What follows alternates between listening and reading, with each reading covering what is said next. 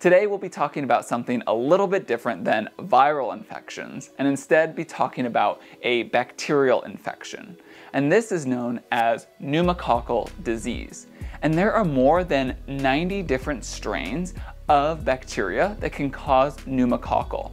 And this can typically present itself in three main ways. The first is through pneumonia, which is an infection of the lungs. Next could be a bloodstream infection.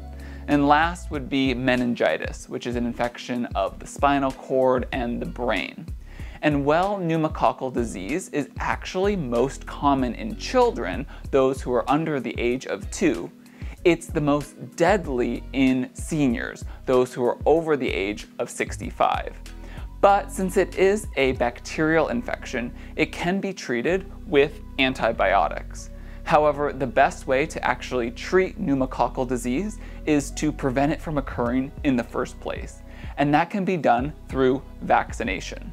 So in our next video, we'll break down how exactly the different types of pneumococcal disease vaccines work.